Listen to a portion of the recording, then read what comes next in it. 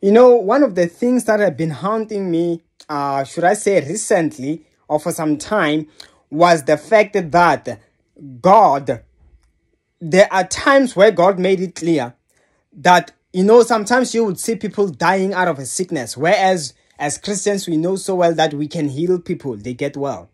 And I'd be like, okay, that time when God woke me up midnight and I could not pray, and God made it clear those things that there are times where, had you fasted, had you prayed as He instructed you, that person would have would have lived.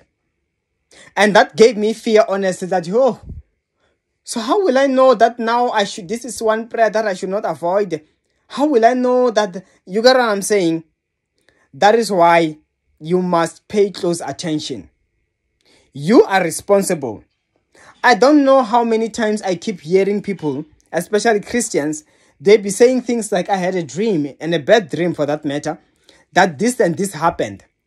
And you can just tell that it's almost like they are, are waiting to see it manifest so that they can say, Yes, I, I saw it. That is how most people think. But if that dream was relating to someone very close to them, someone whom they would not want to lose, I assure you, most of them, they wake up and rebuke that from coming to pass. They don't even want to see at least a hint of a manifestation. So be careful. It is easy to be trapped in a situation where you want to see the manifestation and you be, you stop to pray. And when that person dies, it's the blame is on you.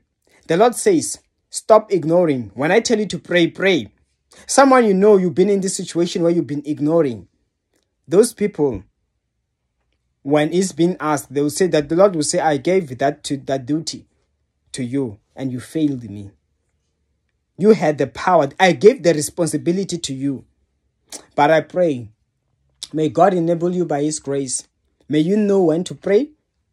May you know when it is a must to pray.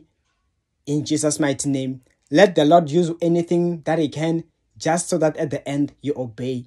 In Jesus' mighty name, I pray for you right now. Amen. And of course, that's all I had. My details are on the comment section below. See you next time.